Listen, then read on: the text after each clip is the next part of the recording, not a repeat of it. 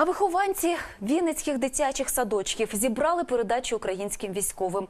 Малеча, які від 4 до 6 років писала солдатам листи, власноруч виготовляла обереги, малювала картини. Їхні ж батьки назбирали грошей і купили на схід телевізор. Саме його замовили для бійців представники обласного військомату. Для чого дізнавайтеся з наступної розповіді. Ласка, ми передаємо, хай нам хлопцям там буде Дякую. трошечки радісніше, ніж, ніж там є на сьогоднішній день. Добре, дякую. Телевізор для бійців східного фронту купили на прохання обласного військомату. Там вважають війна війною, а життя триває. Наскільки я знаю, завжди, е, хоч в польових умовах, хоч таких, створюється народознавча світлиця, де стоять е, столи, там, де військовослужбовці можуть сісти, написати листа, почитати газети, книжки. От. І також у в палаці, так називаємо народознавчій світлиці, от, завжди стоїть телевізор.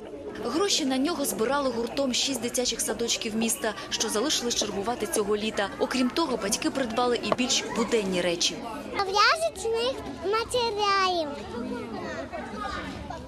Водички, мило. А для чого?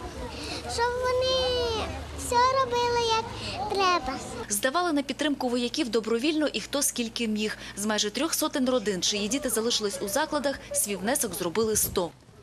Я пішла на базар з задоволенням. е, Примірно е, придумала, що я бачила, що інші батьки несуть. Там бачу багато чаю, принесли ще щось. Я вирішила вже сахар купити, носочки. Скупилася, передала в садочок. Я дуже хотіла, щоб їм там було легше. На схід поїдуть і обереги, виготовлені дитячими руками. Бачите, такі ленточки, робили такі точки, ось символ е, миру, голуб, смайлики веселі, ось такі. Ось чоловічки, які можна буде почепити в палатках, де проживають, або носити з собою як, як оберіг. Зробили ось такі значки, А п'ятирічна Мілаша Матвієнко намалювала картину. Тут намальований голуб миру, який несе калину. Щоб був мир.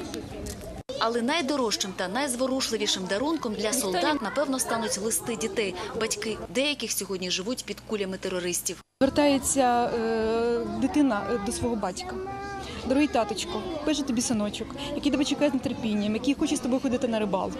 І потім приключається доці, яка також пише ці листи. Ви розумієте, коли ці діти звертаються як до свого рідного батька, таке читати просто без сліз неможливо. Днями посилка з дому поїде до адресатів на схід.